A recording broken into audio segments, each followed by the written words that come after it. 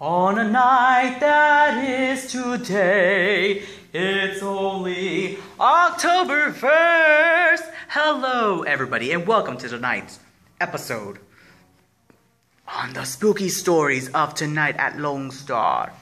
Actually, not. Hello, everybody, it's me, Isaac here, your host, as introducing yourself looking all flashy and nice and groovy. Yes, indeed.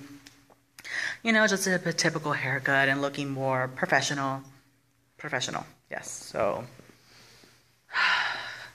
don't I feel good? Anyway, just to go along with the wind of the night, all the day goes on, getting many things done. It's only October 1st where all the goosebumps come out at night, where the black cats and witches roam, where Dracula comes to suck your blood, where the mummies of Egypt come back to life, or Frankenstein comes out with his wife. Anyway, Happy October 1st, everybody. It's only a Wednesday and only 30 more days to Halloween, which will be one on Friday for the kiddos to love and like and just enjoy.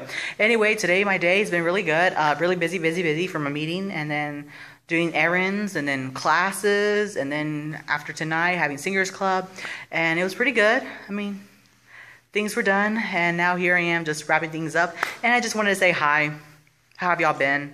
And how's life, and I hope we meet again. And that's about it right now. So let the show go on, for that you know that's only the season of autumn, which I want to go to the Dewberry Farm real soon. Just pointing that out there.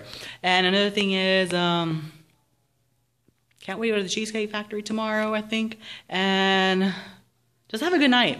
Have a good week. Have a good weekend. Bye, everybody.